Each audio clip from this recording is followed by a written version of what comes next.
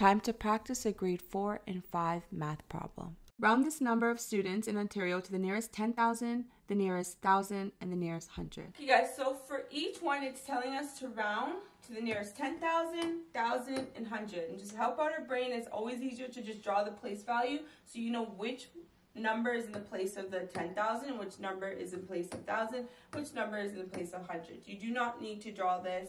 If you're like good, then you're good. Okay, so therefore, I'm just going to underline each one. This one is a 10,000.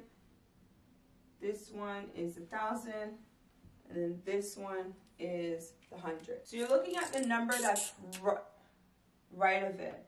So then this one, I'm going to put an arrow here.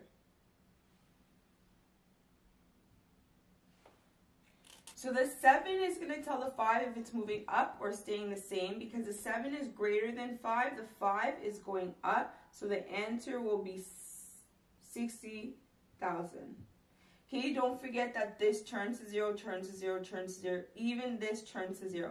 Some people forget to turn this one to 0. The 1 is going to decide if the 7 is going to go up or stay the same because the 1 is lower than 5. This 1 is going to tell the 7 to stay the same. So the 5 stays the same, the 7 stays the same, this turns to 0, turns to 0, turns to 0.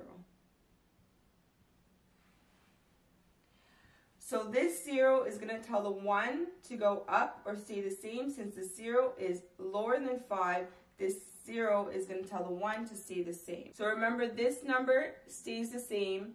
This number stays the same. This one we're determining if it's going to a 2 or a 1. So we said that it's staying to a 1.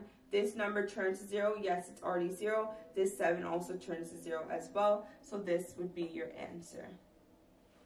Congratulations on putting yourself first and becoming one step closer to obtaining your version of success. Don't forget to like and subscribe and see you on the next one. Congratulations on putting yourself first and becoming one step closer to obtaining your version of success. Don't forget to like and subscribe and see you on the next one.